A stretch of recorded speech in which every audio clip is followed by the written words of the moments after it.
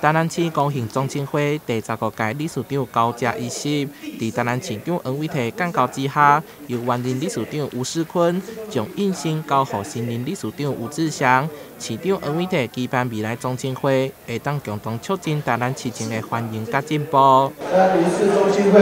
哦，不但伫咱台南市哦，会使各界哦发挥非常大的社会哦辅助的力量。不管是对咱的宗教，还是咱的标志，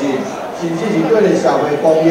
哦，拢总是非常尽心尽力，这是大家有目共睹。新任理事长吴志祥，同时也是台南市体育总会理事长，以感谢高雄中青会会议的支持甲推荐，来接任这届理事长，并表示高雄中青会是五市家族的重要资产，希望未来大家当继续团结，争取荣耀。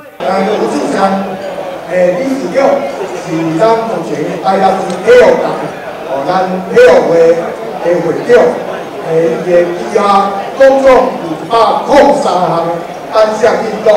我看伊这个责任非常重大，非常重大，支持各愿意来担任咱台南市某一个中心的理事长，实在是万分可贵。担任这个理，担任这个五是中心会，还是一个责任的开始。这个开始，因为咱之前，咱的理事长拢做了非常的好，从咱五市中心，规个拢团结一致，所以讲啊，小弟担任这个理事长吼，感觉任务足重大，足重大。啊，而且呢，嘛爱非常的肯定我咱咱这理事长，咱因为努力嘛吼，啊，小弟呢，诶，一直。来遵照咱五市中心会咱的优良这传统，